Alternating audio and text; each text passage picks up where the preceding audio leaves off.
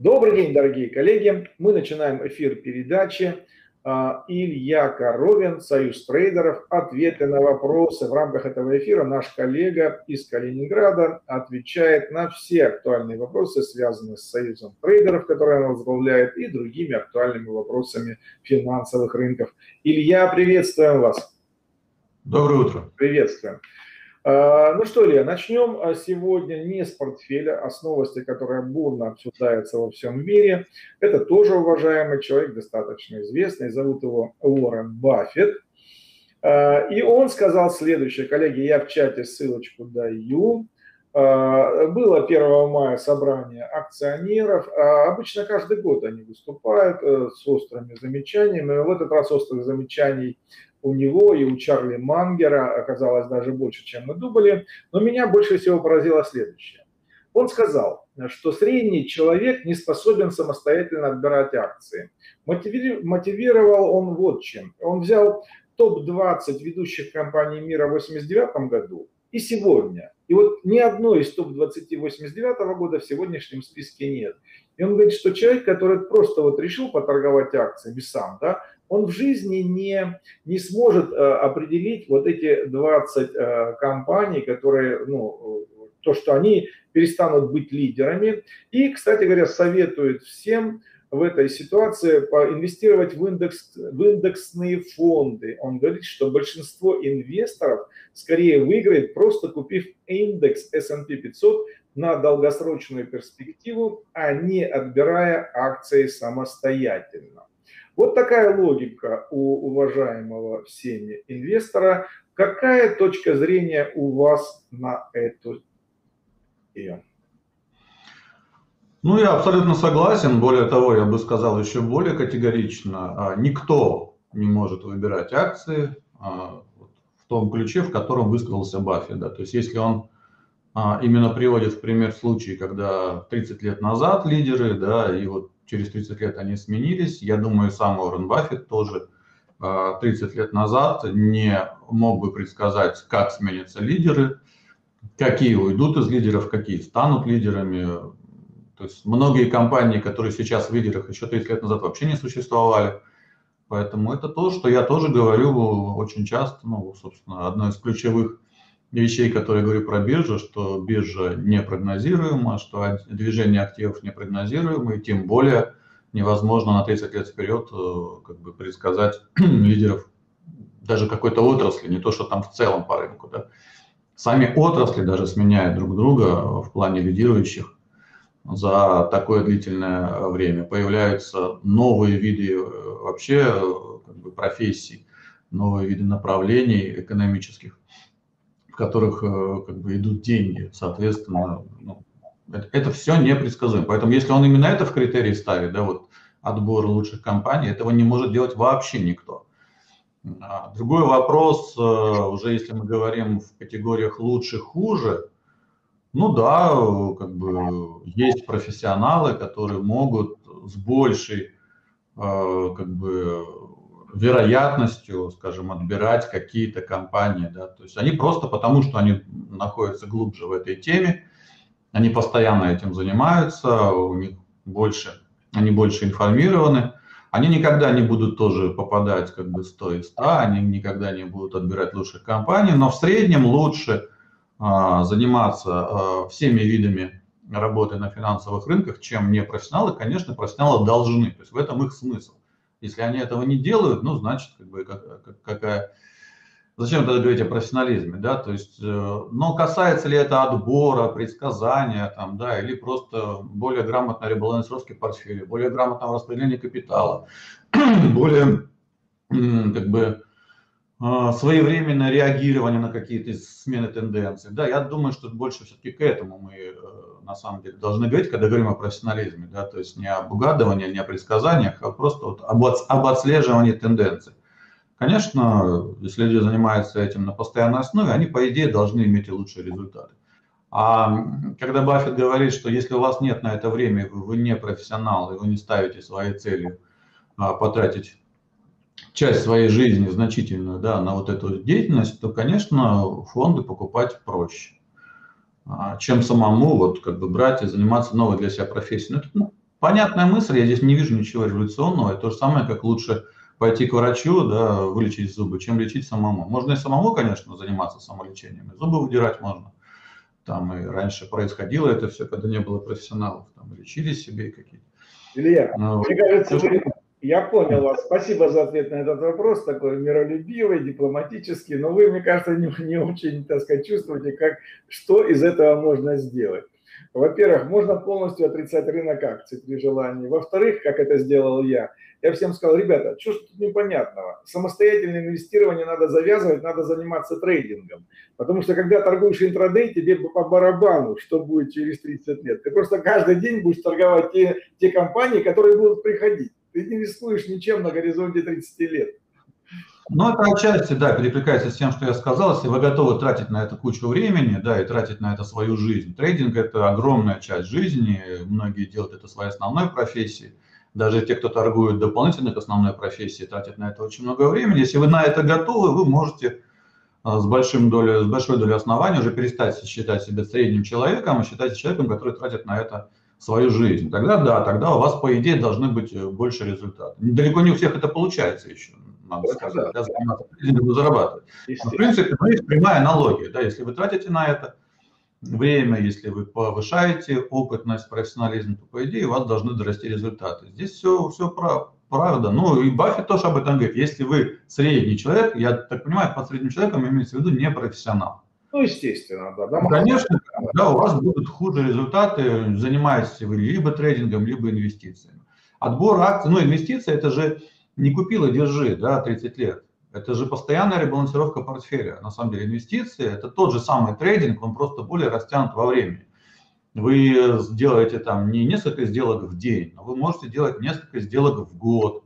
Или там даже перетряхивать портфель раз, раз в год, например. Это все равно уже не трейдинг далеко, но это не пассивное инвестирование 30 лет. Да? То есть это 30, у вас перетряхивание будет за 30 лет. Это очень большая работа. Илья, ну, согласитесь, что э, ребалансировка портфеля – это все-таки уже э, трейдер выше среднего. Это уже человек должен, так сказать, заниматься этим. Ну, нет, ну, ну, опять же, к вопросу, да, если мы говорим про трейдинг, э, несколько сделок в день, это же огромное количество времени, да, и, соответственно, каждая сделка – это принятие решения. А каждое принятие решения требует определенной работы. Если мы ту же самую работу делаем раз в год, то мы в любом случае тратим на это гораздо меньше времени, чем трейдер, да, обычный. Mm-hmm. Вот. Такая уже история, ну, она ближе к, к ничего не деланию, грубо говоря. Да? То есть это такая компромиссная история, да, то есть либо каждый день совершать сделки, либо раз в год, либо вообще 30 лет сидеть ничего не делать.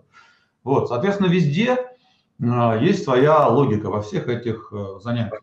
То есть свое место у каждого человека будет индивидуальным в той степени, Конечно, и цели, и, и цели в том числе. Цели в том числе. Соглашусь. Я думаю, что есть цели, да, у людей, которые приходят на биржу, угадать лидеров через 30 лет. Вот мне как бы сложно. Я не встречал таких людей, которые вот так вот ставят свою задачу. Люди приходят на рынок зарабатывать деньги. А, понятно, что желательно зарабатывать больше, чем депозит в банке, иначе зачем приходить на рынок?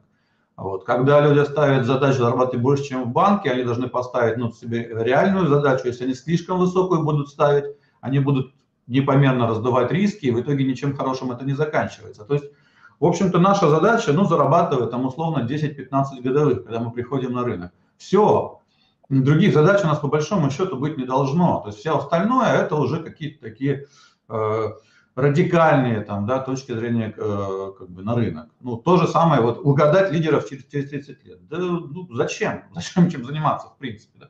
Может, Баффету это интересно, может, он как-то вот для себя это видит профессиональным вызовом каким-то и вообще смотрит на рынок с высоты своего возраста, да, и с высоты своего ну, да, нахождения. 90 лет человек, конечно, мудр. Ну, конечно. У него другой масштаб, да. Люди, которые приходят на рынок, которым 20-30 лет в принципе, да, они не думают о том, что будет на рынке через 30 лет. Это совсем другой для них масштаб.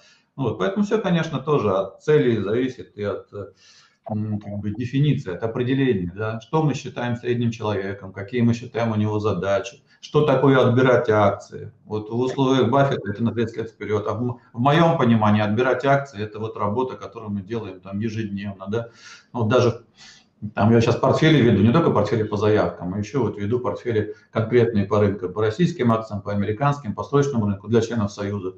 Вот я там занимаюсь отбором этих акций, как бы, ну, фактически раз в неделю. Ну, понятно. Ясненько, Илья. Понял вас, спасибо большое. Э, двигаемся дальше. Э, э, значит, на этих выходных почему-то очень много вышло материалов на целом ряде ресурсов, критических по отношению к Союзу трейдеров, понятно, по отношению к его членам. Я даже вот вижу в одном из материалов а, а, союз псевдотрейдеров. Ну, надо полагать, что автор, видимо, один настоящий трейдер, а все остальные это псевдотрейдеры. Вот. Ну, мы их обсуждать не будем, поскольку когда, это значит только то, что все, что вы делаете, вы делаете правильно. Но есть... Можем, можем обсудить на самом деле все, что угодно. Это, это не вопрос. Нет, надо, нет. Надо, надо же разобраться, если вы уже даете эту информацию, да, что там вышло много материалов, там, да, ну давайте посмотрим на эту информацию. И, и либо, либо мы о ней тогда вообще не говорим, да, если мы даем а, какой-то этот самый, какую-то характеристику, я вам просто покажу, как с этим работать, да, чтобы вы понимали. Да, да. Хорошо, не вопрос. Я сейчас покажу это. Мы, конечно, подробно обсуждать не будем, это займет многие, так скажем, часы. Но а покажу и задам только один вопрос, а дальше комментарии, которые вы хотите сделать по всем трем. Вот я взял три материала вот, э, которые вы захотите дать, вы, естественно, дадите. Э, вот. Ну что, друзья, вышли материалы, на которые обратили внимание наши участники. Вот торговля без стопов, вопрос к Илье Коровину, здесь подробно объясняется, так сказать, почему автор не согласен. И вот третий вопрос мне больше всего понравился. Как объяснить клиенту соотношение риска в процентах для его депозита на одну сделку и общий критический риск на весь депозит? Вот. Другие материалы гораздо более такого агрессивного содержания. Горилла, его клиента, на кого работает гениальный управляющий. Ну, Горилла, друзья, это Алли Рок, если читать, это, э, э, и, э, это никнейм Ильи Коровина в, на, на одном из ресурсов. Если прочитать наоборот, то будет Горилла. Вот. Ну, здесь тоже критический материал. Или вот э, Илья, Коровин Илья о социальном статусе 100, 100 пласей рисков почему-то не понравился этот материал, хотя, мне кажется, здесь-то уж все совершенно очевидно. А вот я что предлагаю? Я предлагаю начать с самого такого нейтрального вопроса. Человек его задает, судя по всему, искренне. А, он говорит, еще раз повторю вопрос, а, давайте начнем с ответа на него. Как объяснить клиенту соотношение риска в процентах для его депозита на одну сделку и общий критический риск на весь депозит? Я знаю, Илья, что вы отвечаете в 129 раз на этот вопрос, но тем не менее, раз он звучит публично, я предлагаю ответить еще раз на этот вопрос. Давайте я вам сейчас просто быстренько, чтобы мы на это много времени не тратили. А, я узнал об этой информации, о том, что там про меня что-то рассказывают 10 минут назад, вот буквально перед этим эфиром. Вот, зашел и просто быстренько а, проанализировал. Я вам сейчас просто покажу, как это делается. Давайте посмотрим. А, а, потом, а потом мы продолжим.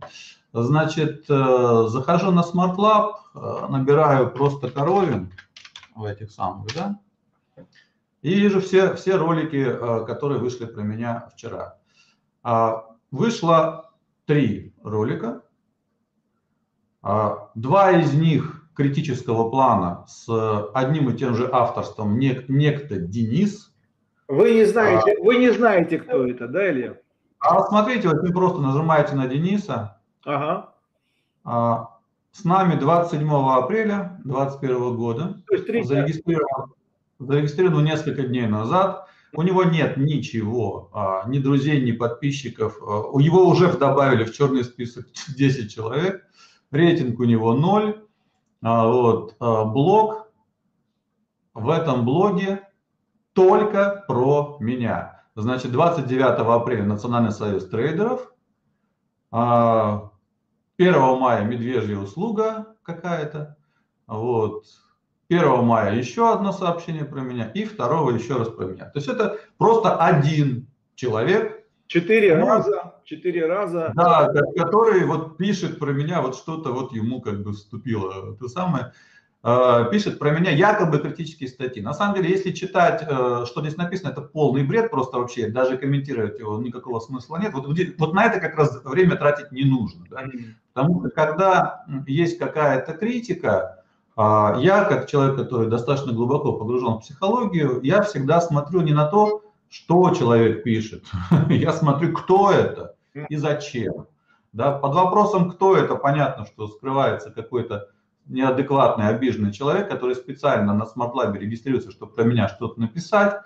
Вот. Ну и, соответственно, быстро, пунктирно пробежав, потому что там написано, ну просто это полная ахинея. То есть э, как раз комментировать э, это никакого смысла нет. Да? Ну вот любой может почитать и поймете, что это бред. То есть это идет вранье, передергивание какое-то, какая-то просто ну, неадекватная информация, ничего, ничем это не доказывается абсолютно. Вот на это как раз время тратить не нужно. Вот. И еще один э, значит, материал про меня вышел, э, Сергей Кандалакша, да, вот как раз вопросы здесь уже ну, нормальные, нормальный человек с нормальными вопросами.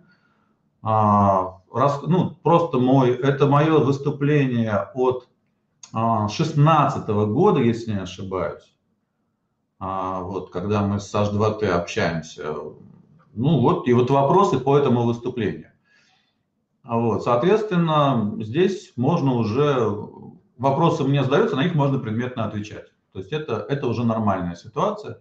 Берется мое выступление конкретно, а не какая-то от себя тяна, и конкретно по моему выступлению задаются вопросы. Это абсолютно нормальный формат. Я, кстати, здесь особой критики не вижу, здесь просто человек, ну, вот, ему интересно разобраться в вопросе.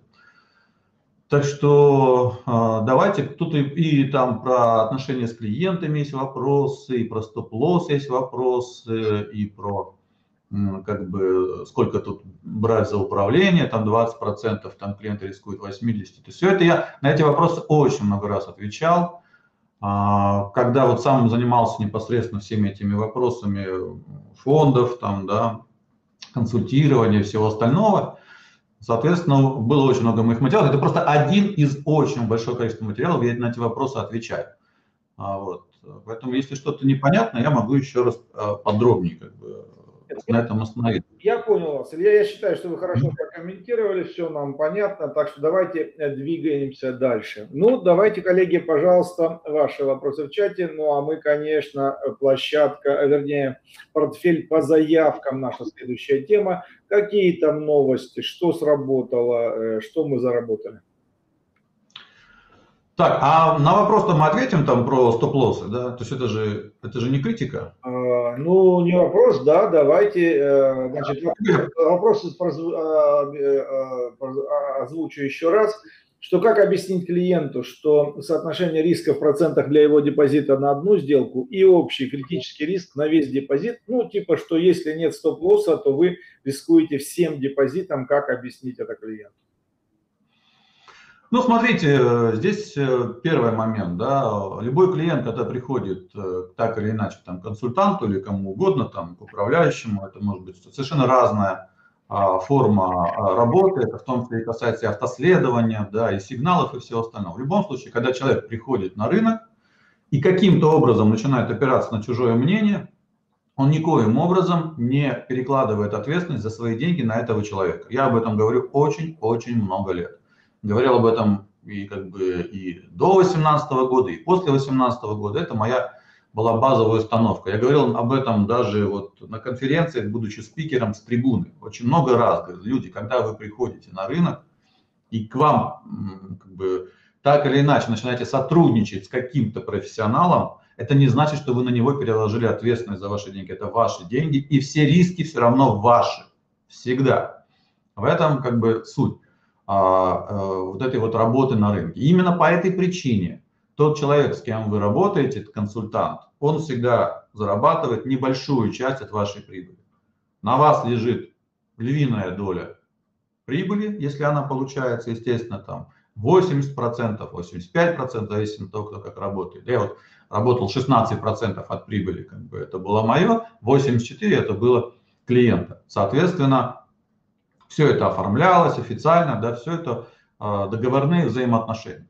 И поскольку клиент несет, э, как бы получает практически всю прибыль, то и риски, естественно, тоже лежат на нем. Иначе это была бы совершенно несправедливая схема работы. Если, если консультант или там управляющий участвует в рисках, то значит он и от прибыли должен получать намного больше. И такие тоже взаимоотношения бывают на рынках, когда консультант, например, получает 50% от прибыли, и собственно, риски тоже распределяются 50 на 50. Такое тоже возможно.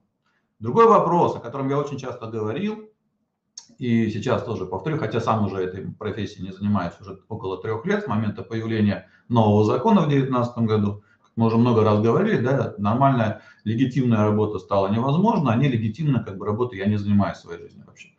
Вот, потому что я занимаюсь очень публично. Я не серый какой-то там консультант, который имеет там трех клиентов, с ними общается. Я, если работаю, работаю публично.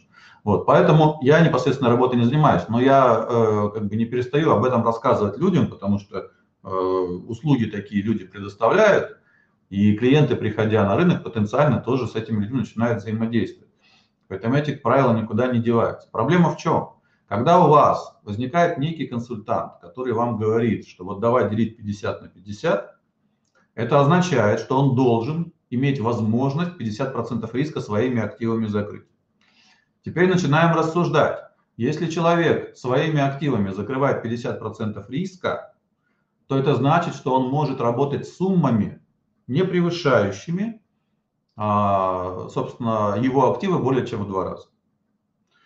Тогда у нас возникают большие вопросы к этому человеку. Зачем он, а, в принципе, работает с привлеченными средствами, так или иначе, как консультант, если у него все равно сумма, которую он может таким образом взять в работу, всего лишь в два раза превышает его собственные средства, за которых 50% он отвечает своими деньгами, от прибыли он получает только за эти 50%, зачем ему брать прицепом вторые 50%?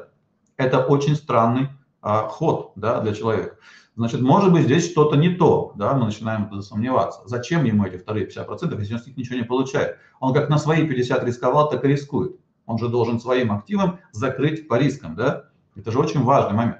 И второй момент тогда, а в принципе а, суммы, а, вот, которые он готов брать, если они не сильно отличаются от его собственных активов, не более чем в два раза, пропадает вообще э, как бы критерий профессионализма этого человека. Значит, он работает, в принципе, вот как бы пришел к нему какой-то э, клиент, у этого клиента в два раза больше денег, чем у консультанта, и все, и на этом все сотрудничество заканчивается. Он, значит, работает только с одним клиентом.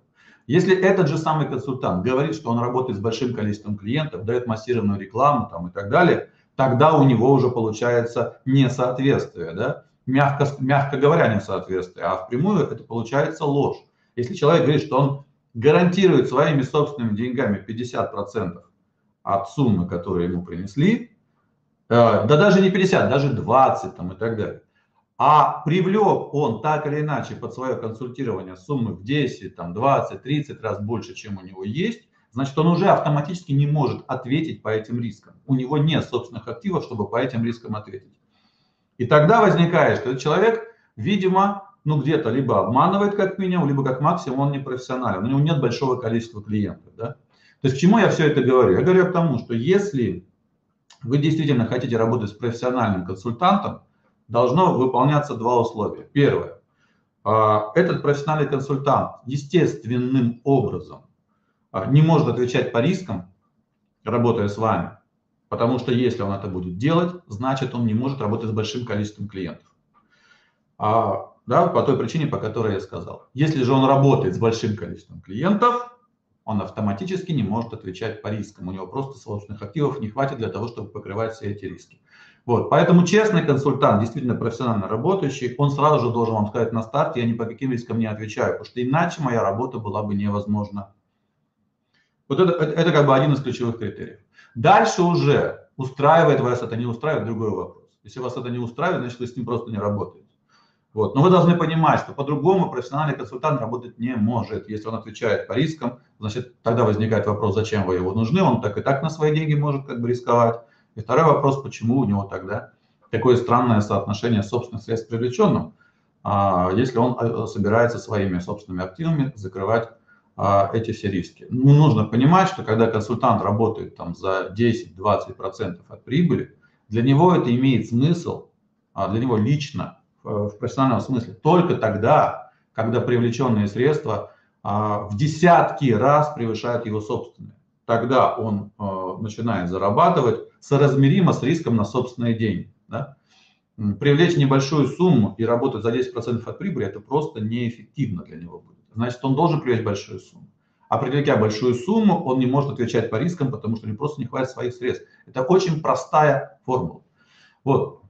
Это, это к вопросу, вот как, как клиентам это а, как бы объяснять там риском и. Теперь к вопросу о стоп-лоссах. Стоп-лоссы это а, просто один из приемов работы с деньгами в целом. Мне важно, с клиентскими или, или не с клиентскими. Я категорически против стоп-лоссов, всегда как бы об этом говорю по той причине, что стоп-лосс это отрицательная сделка, которая уменьшает ваш счет. Соответственно, если вы уменьшаете свой счет, то зарабатывать вы как бы не то, что не зарабатываете, вы идете от заработка в другую сторону. Тут я уже подробно остановиться не буду, очень много как бы, да, моих материалов, где я рассказываю про вред стоп-лоссов и объясняю, что именно стоп-лоссы уменьшают счета клиентов. Те управляющие, о которых мы говорим, которые долгосрочно зарабатывают на рынке много лет, они со стоп-лоссами не работают. Уоррен Баффет не работает со стоп-лоссами, понимаете? Как бы и крупные фонды, которые работают и зарабатывают многие годы и десятилетия, они не работают со стоп-лоссами. И когда люди к ним приходят, у них нет там лимита потери. Понимаете? То есть вы, когда вкладываетесь в фонд, у вас нет там лимита потери. Это глупости, которые придуманы псевдоконсультантами и псевдоуправляющими про некие лимиты потерь. Да, есть, конечно, определенные категории работы, там, бутиковые, а, ИДУ, индивидуальное доверительное управление, где вы оговариваете, можете говорить там со своим управляющим, что вы не потеряете там больше 20% отчета. Но тогда вы автоматически себе отсекаете огромное количество стратегий, и э, фактически, если э, управляющий ваш или консультант, или как, как удобно, кто бы это ни был, если он гарантирует вам, что вы не потеряете больше 20% отчета, это означает, что он рискует только на 20% отчета, а все остальное он фактически не задействует. В лучшем случае, что он может вам предложить, в этом, э, как бы, на эти 80%, это облигации высшей категории надежности. Но даже они могут дефолтнуть теоретически. И в этом вопросе уже будет тоже некое лукавство. Да? То есть если вы принесли 100% денег там под какое-то управление, 80% от этих денег управляющий положил в облигации высшей категории, на 20% он рискует. Да? Облигации высшей категории, если, например, это даже там долгосрочные какие-то бумаги, 10-15-летние, они могут просесть гораздо больше 20%. И мы это видим в кризисе. Это не, я говорю не про трехмесячные там, или да, трехлетние даже облигации, которые сильно проседают. Даже высшая категория десятилетки, они могут сильно проседать. Это значит, что даже в этом случае не управляющий не может вам гарантировать, что счет не будет снижаться ниже 20%. Поэтому, как правило, вот эти вот стоп-лоссы, а, там, или лимиты потерь, которые вы оговариваете с управляющим, ни к чему хорошему не приводят. Они приводят к тому, что когда рынок временно находится там в просадках, управляющий вынужден рубить позиции все вот эти, да, там насколько вы договорились, чтобы вот этот стоп-лосс соблюсти. В итоге вас выбивают из позиций в отрицательной зоне, потом рынок разворачивается, идет наверх, и все, и вы потеряли деньги. Посмотрите на прошлый год, 20-й, ковидный, да, и, и как бы представьте себе, там, да, если вы сами попадали в эту ситуацию, вы увидите, что у вас на счетах происходило, если вы работали со стоп-лоссами. Вас выбило из позиций, рынок развернулся и пошел наверх. S&P пошел на новые верха, половина там акций тоже э, отдельных пошли на новые верха. Как бы все, а у вас уже позиции нет, вас выбило. Фонды при этом, крупные фонды, ничего в прошлом году не потеряли. Они спокойно отсиживали просадки, те, которые были 20%, 30%, 50%, там, неважно, да. У них просто модельная как бы, работа с этими портфелями не подразумевает, что они будут брать стоп-лосс. И поэтому они долгосрочно все эти просадки выдерживают. Когда вам Баффет, вот сегодня мы говорили, советовал покупать фонды, там же не было в этой рекомендации, купите фонды и поставьте стоп-лосс. Купите просто фонды, и вы с большой долей вероятности обгоните свое же собственное а, представление о том, как выбирать компанию. Если вы хотите зарабатывать на рынке, никаких стоп-лоссов быть не должно. В и плечей, конечно же, быть не должно. Я об этом тоже говорю постоянно. У меня уже, уже язык стерся. Скажу, что без плечей, без стоп-лоссов, без прогнозов. Все это, конечно, вместе. Но стоп-лосс и в вашей торговле, и когда вы договариваетесь там с кем-то, там с управляющим, это то, что убивает ваши счета, они дают вам прибыль. Поэтому здесь все взаимос, взаимосвязано, да, как бы и отношение к стоп-лоссам, и отношение к собственным деньгам, отношение к рискам, и отношение к работе там, с любыми другими финансовыми посредниками, если вы э, их привлекаете. Вы не перекладываете на них ответственность ни за свои деньги, ни за правильное выставление стоп-лосса, ни за что остальное. Это не волшебники, да? это просто люди, которые могут работать лучше, чем вы, но они не могут базовые вещи из рынка убрать. На рынке есть риски. Никуда их убрать из, этого, из рынка нельзя. Если вы приходите на рынке, вы к этим рискам должны быть готовы. И, соответственно, вы, вы должны быть готовы а, к любым ситуациям, которые на рынке происходят. Всем своим клиентам, я это постоянно говорил, все они это прекрасно знали, что вы, в моей стратегии еще, в самой опасной да, на рынке, которая может быть в продаже волатильности, можно было не только потерять все деньги, но еще зайти в минусы брокеру. Я об этом тоже постоянно говорил, в том числе на публичном огромном количестве своих выступлений. Я даже когда рассказывал про торговлю волатильностью, я преподавал ее в срочном рынке московской биржи в школе, у меня на первой странице было это написано, что это самые большие бесконечные риски а, в этой стратегии могут быть. То есть э, как бы в других стратегиях таких страшных вещей, как при продаже волы, быть в принципе не может. Я об этом рассказывал с самого начала во всех своих стратегиях. Люди, приходя ко мне конкретно, если да, говорить про мои стратегии, они не только готовы были потерять все деньги, они понимали, что можно даже в минус брокеру залететь. Да, с очень маленькой вероятностью, конечно, да, при очень многих э, негативных э, как бы, стечениях, но о том, что такая вероятность есть, я тоже предупреждал. Поэтому клиент должен быть готов ко всему, э, иначе не нужно с ним работать. То есть людьми, которые говорили о том, что а, там, я не могу потерять там больше какой-то суммы, я лично не работал, потому что я ему объяснял, что ну, в этом нет а, как бы способа обеспечить вот ваши запросы, что вы там больше какой-то суммы не потеряете, и при этом выйти на адекватную доходность, таких способов нет. Если вы хотите рисковать 10%, значит только 10% будет под риском находиться. На эти 10% вы заработаете, соответственно, там, ну сколько там, на 10% можно заработать. Все остальное 90% будет лежать просто там, не знаю, положите их на депозит, я говорил, не надо тогда со мной, мне эти суммы а, никоим образом как бы в работе не нужны. Я не буду консультировать по оставшимся 90%, если вы не готовы, что они могут снижаться. Тогда вам нужен депозит там или что-то еще. Это жесткие правила, которые должны быть у каждого человека, кто работает с клиентскими деньгами. Не нужно гарантировать и брать на себя чего-то, чего вы не можете выполнить. А вы никогда не выполните а, вот это вот выполнение просадки, да, вот это вот ограничение, если вы положили в, в актив больше, чем а, размер просадки. Стоп-лоссы могут не сработать, мы все это знаем, гэпы могут быть любыми там, да, отрицательные цены на нефть даже могут быть, мы теперь уже об этом знаем. Я тогда об этом не знал, что такое может быть, но все равно говорил о том, что э, прогарантировать нельзя на рынке ничего. Ну вот, как бы практика лишний раз показывает, что всегда нужно об этом и помнить и самому, и, конечно, э, об этом нужно говорить своим клиентам, если вы с ними работаете никак иначе. Хорошо. А, спасибо большое вам, Илья, за этот подробный ответ. Это, конечно, такой глубокий, друзья, философский подход. И, э, ну что, вот жизнь, э, когда рассказывают мне, что трейдинг это или инвестиции это просто, друзья, ну вот вы послушали Илью, и поверьте мне, это опыт 25 лет на рынке, поэтому здесь ничего простого нет. Здесь все так сказать, э, это э, годами, годами э, находятся ответы на все вопросы. Кайзер Крафт пишет, мой вопрос озвучите. Виктор, а напишите, пожалуйста, в чате, какой это вопрос, мы его, естественно, озвучим. Илья, вы говорили, что торговали КАМАЗом, сейчас они тестируют автомобиль КАМА, вот, э, так. Но вы же говорили, что мы хорошо строим ракеты, как изменится наша жизнь инвесторов от создания новой орбитальной станции, ведь почти ничего не торгуется на бирже. Вот такой вопрос. Ну, КАМАЗом я торговал, наверное, очень много лет назад, да, скорее всего, взяли там тоже какую-то мою лекцию, там года от 15 от 16 вот.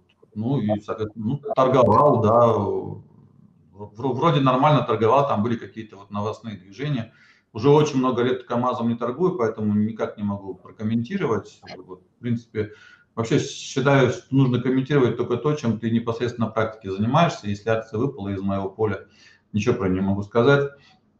Вот, по поводу орбитальной станции, ну, вы сами на свой вопрос ответили. Если акции не торгуются на бирже, ну, что мы можем сделать с тем, что мы а, хорошо строим ракеты? будут э, каким-то образом выходить э, акции как бы, ракетостроительных компаний на биржу, будем в этом участвовать. Но опять же, э, как бы надо смотреть всегда тоже, что это за акции, там, по какой цене они будут выходить на IPO и так далее. Ну, пока еще выйдут, я думаю, до этого еще не скоро. Поэтому как выйдут, так и будем обсуждать. Виктор, спасибо вам э, за, за ваш вопрос. Да, ну, тут, Виктор уточняет, что я говорил, что не стоит в КАМАЗ лезть, мы не умеем делать машину. Ну, если я говорил об этом в 2015 году, значит, на тот момент это было актуально, не стоит в КАМАЗ лезть. И опять же, понимаете, я говорю через слово, что на рынке не надо заниматься прогнозированием, да, и мы никогда не можем прогнозировать. И вы пытаетесь взять какое-то мое мнение про акцию там шестилетней давности и представить, что это какой-то прогноз. Еще раз говорю, я не умею прогнозировать рынок. Это вообще не, не моей, не вашей задачей. Ну, пусть они делают электромобили. В чем проблема? Как бы, о чем в этом говорит? А говорит о том, что надо покупать их акции? Нет, не говорит. Есть много компаний, которые делают электромобили, какие-то из них растут акции, какие-то падают, какие-то обанкротятся. Понимаете, вы опять э, пытаетесь найти какие-то прогнозы и в рынке, и в моих словах, или в чем-то другом, или в каких-то фактах. Рынок не прогнозируется. Понимаете, то, что кто-то что-то делает, это не говорит о том, что акции будут расти. Это разные процессы. На движение акций оказывает влияние тысячи факторов одновременно. И то, что какая-то компания делает какой-то какой-то там процесс, там будь то электромобили там или что-то еще, это не говорит о том, что акции будут этой компании расти. Понимаете? Вот, как бы, вам нужно просто покупать активы, распределять свой капитал, ставить прибыль на сделку и, соответственно, дожидаться вашей прибыли. Вот что такое трейдинг. Не предсказывать, будут ли акции расти из-за того, что они что-то там производят. Это разные процессы совершенно. Поняли вас. Ну вот Виктор объясняет, почему он так э, настойчиво эту тему обсуждает. Хочется не Теслу покупать, а на, на нашем рынке только нефть и газ. Виктор, ну, такая, реальность. такая реальность. Мы же как бы работаем с тем, что есть, понимаете. Мы... Дело не в том, что нам хочется, не хочется. Да. Наша задача зарабатывать. Вот если на нашем рынке, ну не только нефть и газ, у нас есть много других компаний. Если вы хотите технологии, у нас есть Яндекс, например, там, да, технологическая компания. Вот. У нас есть другие там компании, там Киви то же самое, да, есть тоже торгуется на нашем. Ну, можно много взять, просто технологический сектор посмотреть. Он с каждым годом потихонечку, потихонечку а, увеличивается. Вот 20 лет назад, да, не было таких компаний вообще, я это помню.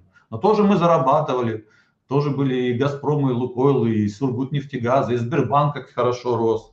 Вот. Вы же на рынок приходите зарабатывать, опять же, но, понимаете, не заменяйте одно другим. Не покупать то, что хочется не вкладывать в то, что вам кажется будет, будет перспективным, не, не покупать то, что строят автомобили там, или и вам кажется, что это будущее. Не в этом задача. Вы приходите заработать. Вот. Поэтому, чтобы э, заработать, нужно просто покупать дешево, продавать дороже. Вот и все. А что там за этими акциями стоит? Ну, по большому счету, это не так важно.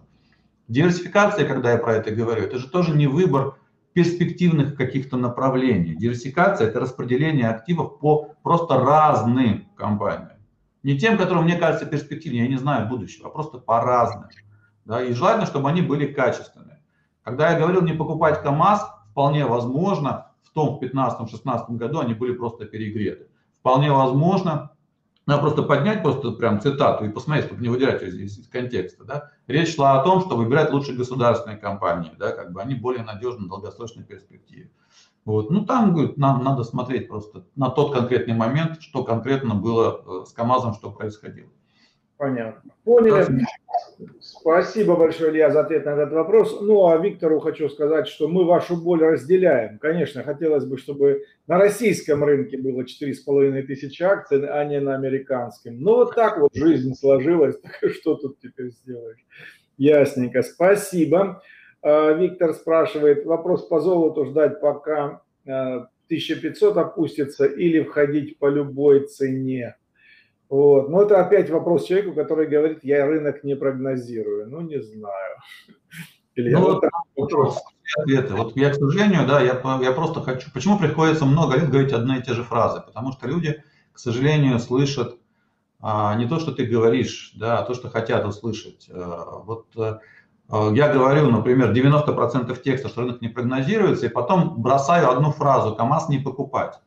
Люди, ага, вот это был прогноз, давайте с ним работать. Надо просто услышать, что рынок не прогнозируется. Вот. И, соответственно, вопрос о том, где ждать золото, да откуда я знаю, где ждать золото. Да, но я же не волшебник, я же на рынок, на рынке нахожусь 28 лет не потому, что я знаю, куда что пойдет. Да? Это вот люди, кто на рынок приходят год назад, пришли или два года назад, вот они вам расскажут, куда пойдет золото, где оно развернется, где у него там будет двойное дно, там, да, это тут надо купить, там надо будет продать. Они вам все это расскажут. Да, я слишком давно на рынке, чтобы заниматься вот этими глупостями. Я все, Илья, на этом я вас, я вас прерву, потому что вы сейчас подрубите всю святую веру в технический анализ, а нам это точно не надо, друзья, поэтому мы движемся дальше. Коллеги, хочу обратить ваше внимание, что на сайте Национального союза трейдеров появилась важная информация. Обращаю ваше внимание, что если вы зайдете на сайт, то вы увидите предстоящие вебинары, в том числе портфель по заявкам в 11.30 mm-hmm. по МСК можно зайти, здесь очень много полезной информации, в том числе часть идей, которые Илья озвучивает, это табличка, а, так сказать, а, естественно, рассказ о Албелье, архив всех вебинаров, это просто замечательно, ссылочку я в чате дал. Ну, кнопка и смотреть это... сразу же, кнопочка смотреть, смотрите, вот на там этот самый, на страницу, которая, которая ведет на страницу Trade TV. А, ну подождите, тогда мы возвращаемся. Если, если что-то ведет на страничку и Trade TV, мы возвращаемся, чтобы вот, пройти вот, этот... Куда вы? Вот сразу же, нет, нет, нет, зачем, зачем вниз? Вот сразу же открыли наверху. Да. Сразу же кнопка смотреть, вот смотрите, вот большая.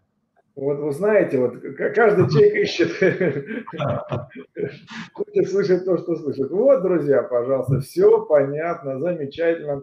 Спасибо большое, Илья, что нас сориентировали э, на сайте э, Национального союза трейдера. Ссылочку в чате я дал, друзья, можно зайти посмотреть.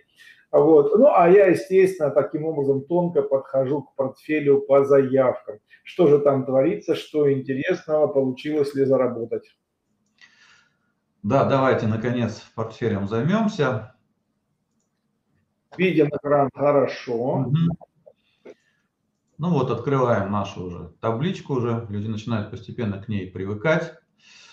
А, ну, смотрим, да, что у нас э, были, естественно, закрытые заявки, не закрытые заявки. Проверяем, что произошло с незакрытыми. GX, э, как, как всегда, как всегда, одна и та же фраза. Я говорю, что долгосрочная акция, но мы должны ее проверить. С целью ставим 10 прибыли, 10% прибыли на сделку, понимаем, что это, да, ждать можем долго, ну вот ждем. Там же абсолютно находится 10-13, да, было закрытие. А, ну вот 10-11 была неделю назад, ну чуть-чуть подросла там. Поправили цену. Значит, Аэрофлот, следующая наша позиция, 65.72 была неделю назад.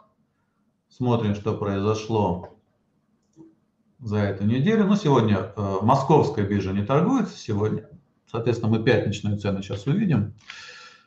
Вот. Ну, кстати, сегодня практически все остальное торгуется. Да? Э, торгуется Санкт-Петербургская биржа. Американские акции торгуются.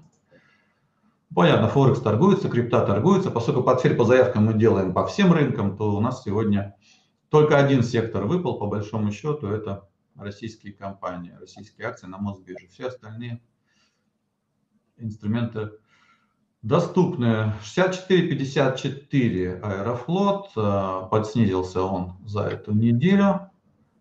64, 64. Так, ГМК.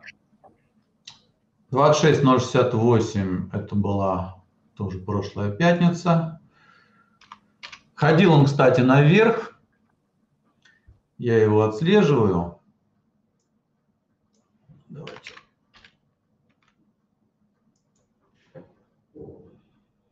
Вот. Но потом к концу недели подснизился он тоже.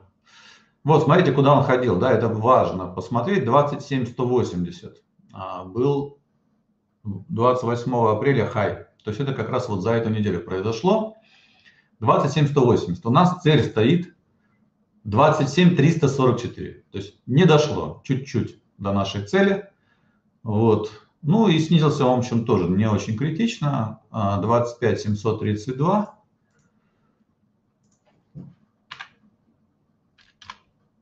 То есть продолжаем находиться в этой позиции. Вот, ну, конечно, обидно бывает, что чуть-чуть не доходит до цели, но рынок есть рынок, будущего мы не знаем, поэтому что есть, то есть. А, евро. Евро-доллар. 20.54, ну, покрупнее посмотрим. 21.5 доходила цена, сейчас 20.547. Тоже на ну, рынке тут ходили похожим образом, да, то есть 28 примерно числа были тоже ходили по евро-доллару, не только по э, нашим акциям. Цель у нас стояла э, 22 82. Это, смотрите, у нас ситуация, да, у нас разбавленная а, история по евро-доллару. 22.82 у нас стояла цель по а, незакрытой позиции.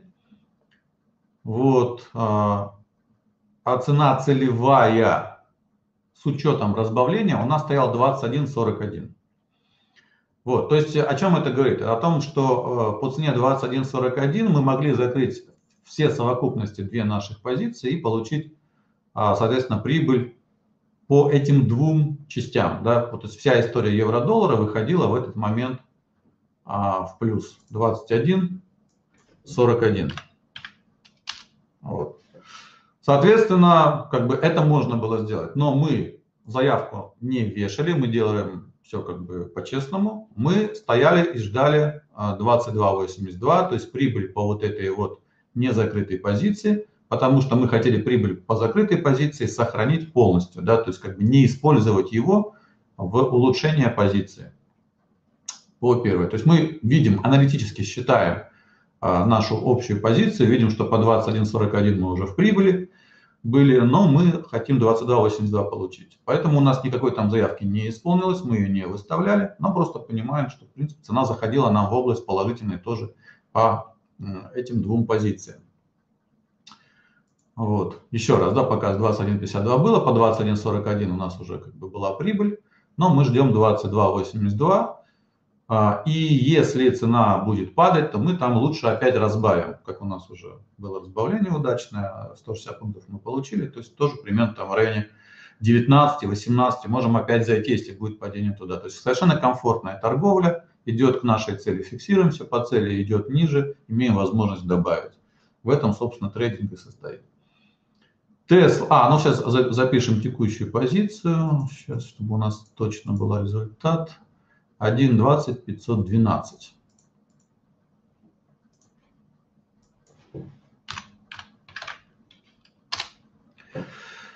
Вот, незначительно у нас снизилась э, как бы, общий результат от этой позиции, потому что напомню, что у меня 10% в среднем а, на каждую позицию э, капитал распределен, поэтому колебания по каждому отдельному эмитенту, он э, и отдельному активу не слишком сильно влияет на весь счет. Это тоже работа диверсификации. Как бы никаких сверхрисков у нас нету. А сверхриски возникают тогда, когда вы слишком много денег помещаете в одну позицию. Там, ну, про плечи я вообще молчу. Тесла 72896 было неделю назад. А, соответственно, Теслу тоже можем глянуть. Тесла сейчас торгуется на Санкт-Петербургской бирже. Ну и в мире тоже торгуется. 709.44 незначительно снизилась тоже.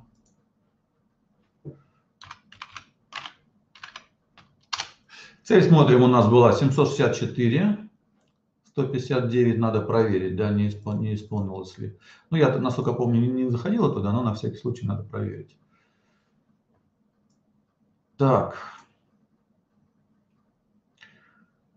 28 апреля, 27, 26. Ну, тут было что-то в районе 735, 764 не было. Последний раз цена заходила 13 апреля. Это было раньше, чем неделю назад. Соответственно, за эту неделю в зону нашей прибыли цена не заходила. Проверили. Серебро. Покупали на прошлой неделе как раз, 26 апреля по 26.10. 26.49,2 стояла у меня цель. А, так, посмотрим на каком графике. Давайте на здесь посмотрим. Так, серебро. 26.12 текущая цена, чуть-чуть выше, чем мы брали. Ходили мы и ниже, ходили мы и выше. И вот смотрите, что у нас тут было. После нашей покупки, покупали мы вот 26-го, цена ходила 24.40 с копейками вот тут, да, 27 числа, потом падала 28 и 29 еще раз заходила почти ну, 26,50 была цена. Но, насколько я так примерно взглядом вижу, 49 здесь, наверное, не было. Я не знаю, кто, кто у нас торгует. Ну, давайте глянем тогда на этом самом, на графике, где можно точно посмотреть.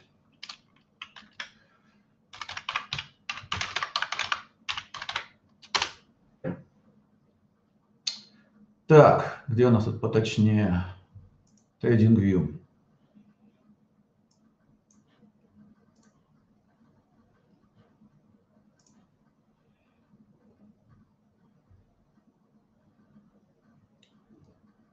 26, 44.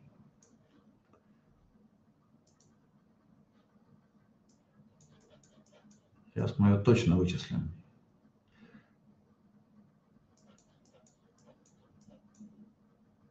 Двадцать девятого, двадцать шесть, четырнадцать.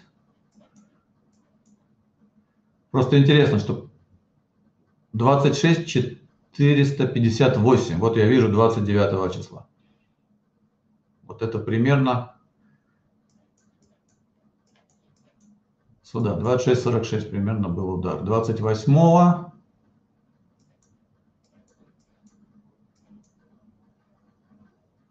42 44. Не добивала. Почти близко. Близко было к 49 к нашим. А, вот, но не долетело немножко. Ну, значит, значит, тоже не долетело. Ждем, продолжаем ждать наши цифры. Ну, просто видите, как близко подходили. Вот, 12, да, сейчас там примерно чуть-чуть тоже подросли микроскопически. Вот, чуть-чуть цель не была исполнена. Так, биткоин.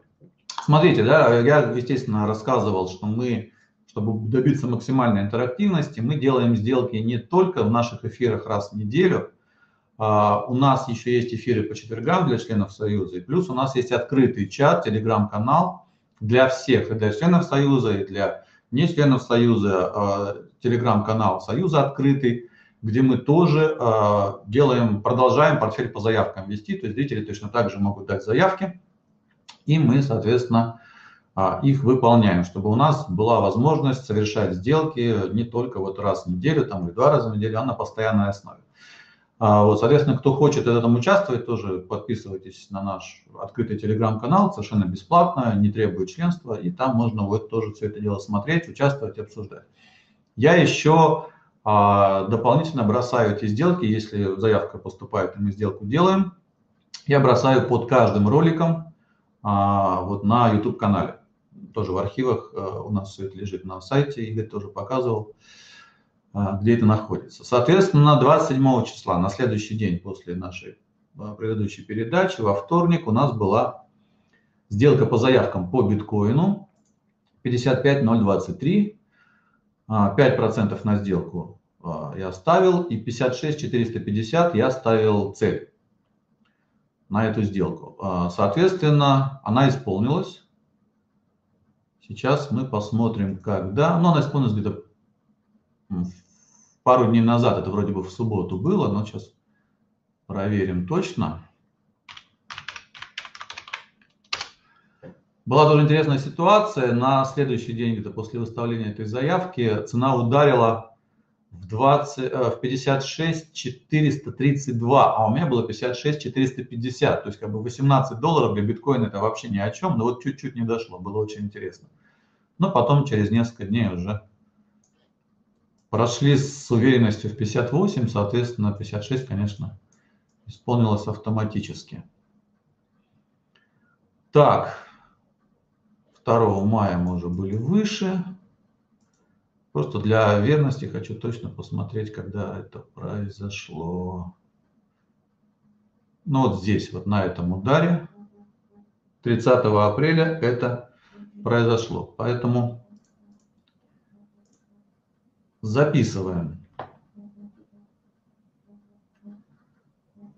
А 56 450 переносим в исполненные сделки.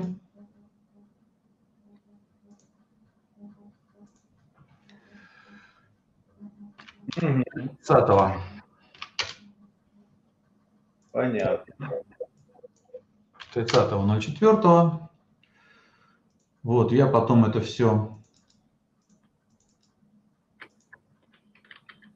раскрашу тут красиво и положу на сайт, чтобы сейчас особо времени на это не тратить. Ну вот видно, да, что она отфиксировалась, прибавилась, прибавилась результат зафиксирован нашим сделкам, то есть 4% и 12 сотых уже принесли нам зафиксированные положительные сделки. Ну вот, собственно, отсюда мы тогда это стираем, поскольку эта сделка уже исполненная. Вот, ну, потом я перенесу ее выше. Mm-hmm. Так, это касается, что касается исполненных. 2,59 было на сделку, и 0,13 ко всему портфелю с учетом того, что 5% мы вложили в биткоин. И еще была заявка Северсталь, тоже от зрителей канала. 27 апреля 1,814,6 была покупка на 2% э, от портфеля. Почему на 2? Потому что у меня на тот момент уже было свыше 50% э, активов, кэша уже в активах заложено, поэтому я чтобы иметь возможность принимать заявки, э, я снизил э, пока размер, как бы, который я помещаю в актив, чтобы была возможность еще какое-то время принимать заявки. Как только будут исполняться крупные заявки, вот там 10%, портфель будет высвобождаться, мы можем опять вернуться к 5% на сделку. То есть контроль за капиталом, направляемых позиций, тоже одна из важнейших вещей, которые мы должны в трейдинге использовать. Не прогнозирование рынка, а вот такие вещи, как распределение капитала. Ну и, соответственно, смотрим, что у нас Северсталью с момента покупки произошло. Так, цель мы ставили 847.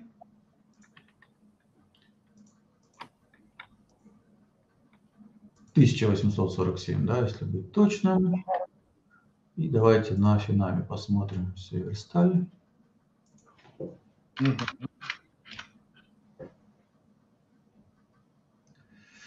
Так, Подснизилась Северсталь, я смотрю. Смотрим на график, что было. Так, мы брали 27-го вот здесь, но уже когда цена упала, то есть это было вечером. Видите, что цена была 870. Угу. Брали, а, сейчас тогда покрупнее посмотрим этот график.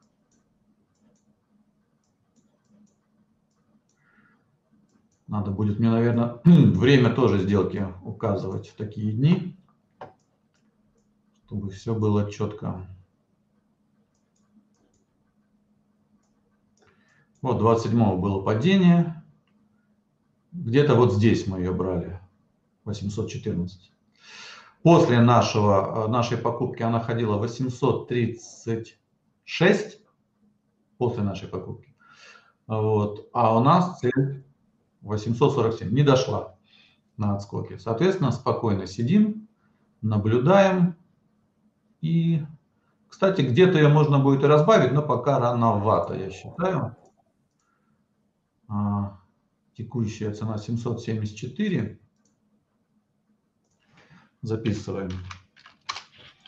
А цен покупки это где-то там около двух половиной процентов, да, я так понимаю, 26, 14, 38, да, это 2 процента. 2 процента это пока очень небольшое падение, чтобы разбавлять нашу позицию. Если упадет больше, чем на 5 процентов, там уже я могу присматриваться к тому, чтобы ее разбавить. Mm-hmm. Ну, пока, пока это рановато.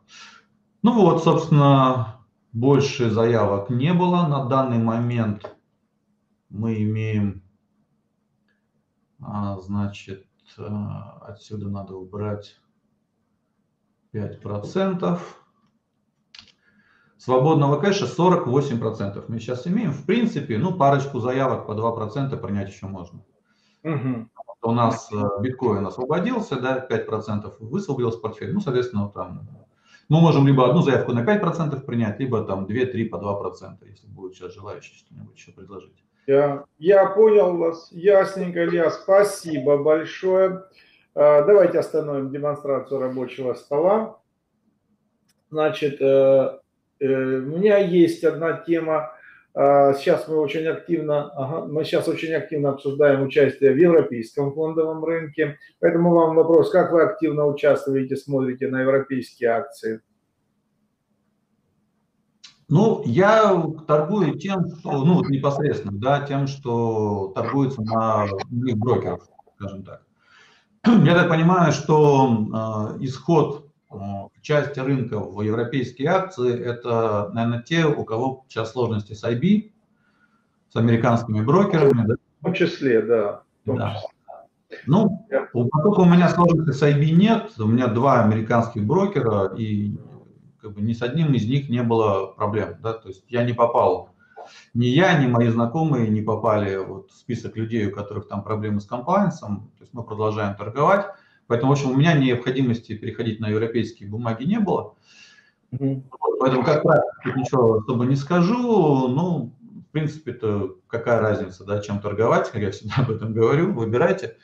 Ну, качественные активы желательно, да. То есть вот единственное, о чем тоже прошу всегда думать тех, кто выходит на западные площадки и торгует не товарными фьючерсами, как я, например, в основном предпочитаю торговать, да, фьючерсами, опционами товарными. То есть для меня, опять же повторюсь, для меня а, ценность западных брокеров в первую очередь заключается в том, что я там торгую а, товарными рынками, фьючерсами и опционами. Поскольку на нашем, на рынке московской биржи срочный рынок очень-очень маленький, у нас всего лишь два расторгованных актива, и, соответственно, ну, не, не разойдешься.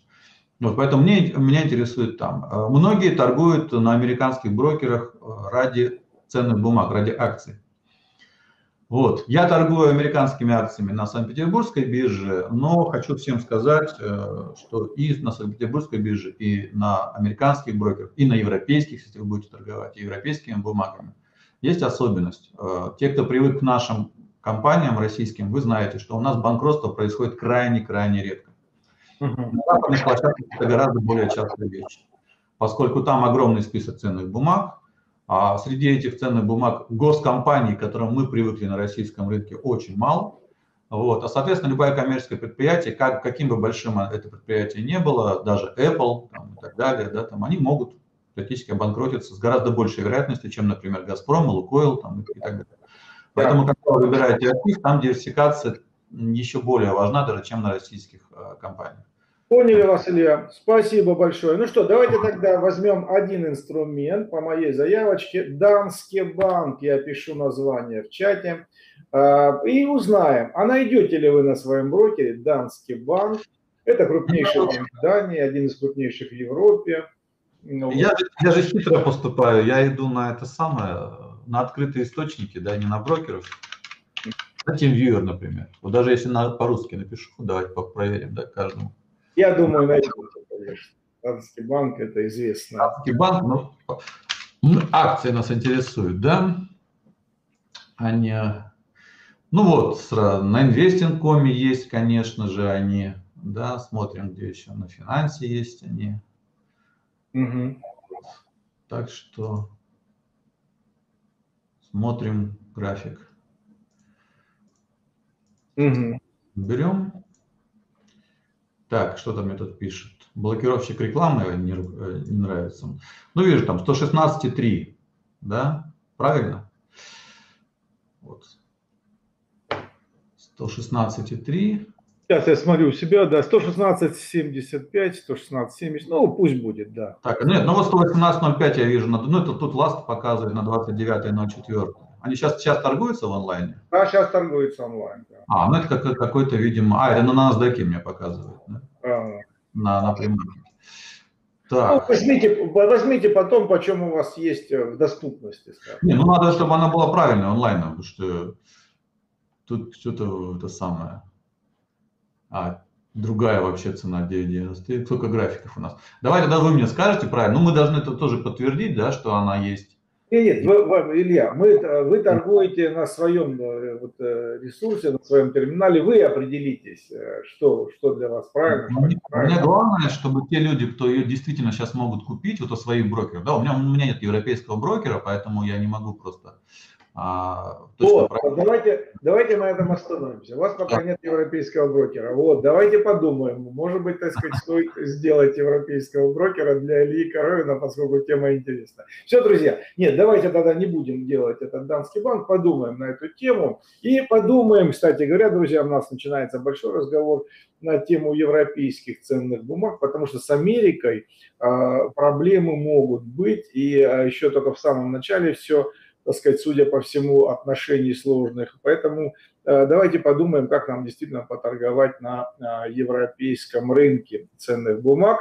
Э, вот. Ну а сегодня давайте тогда, если у кого-то есть идеи из тех инструментов, которые точно есть у Ильи, вы знаете его интересы, пожалуйста. Если нет, то будем на сегодня свою работу завершать. Вот. И ну, поскольку нет, Илья, давайте тогда на этом сегодня остановимся. Пусть у вас будет 48% свободного депозита, побольше кэша все-таки в запасе. А через недельку мы вам европейских акций накидаем. Свои мысли на эту тему я вам пришлю. Ну, если, если в чате не накидают мне еще в телеграм в телеграм-чате нашем, да, то, то ну, да. останется. То да. через неделю будет меньше. Так что смотрите. Кстати говоря, да. Кстати говоря, да. Вот. Э, так что, друзья, э, давайте мы э, на этом будем свою работу завершать, поскольку рассмотрели очень много интересных тем, очень подробно. Портфель, конечно, с каждым днем становится все подробнее, подробнее, зримее, зримее. Я считаю, что это лучший образовательный момент, чем, так сказать, 150 лекций, друзья посмотреть, как реально идет торговля, это очень и очень важно для э, формирования правильного подхода у каждого трейдера. Илья, спасибо вам огромное за очень интересную беседу, за откровенные ответы на все вопросы, даже на очень резкие такие вопросы и не совсем дружелюбные. Я рад, что у вас хватает терпения, нервов и, так сказать, скажем так, э, степени дружелюбия так в, такой, в таком формате отвечать. Вам хорошего дня, успешной торговли и большого количества членов Союза трейдеров. Да, всем спасибо, удачи в торговле. Э, вступайте в Союз трейдеров, подписывайтесь на наши э, соцсети, это бесплатно. Будем вместе торговать, в том числе и портфель по заявкам. До свидания. Спасибо, всего доброго, до свидания.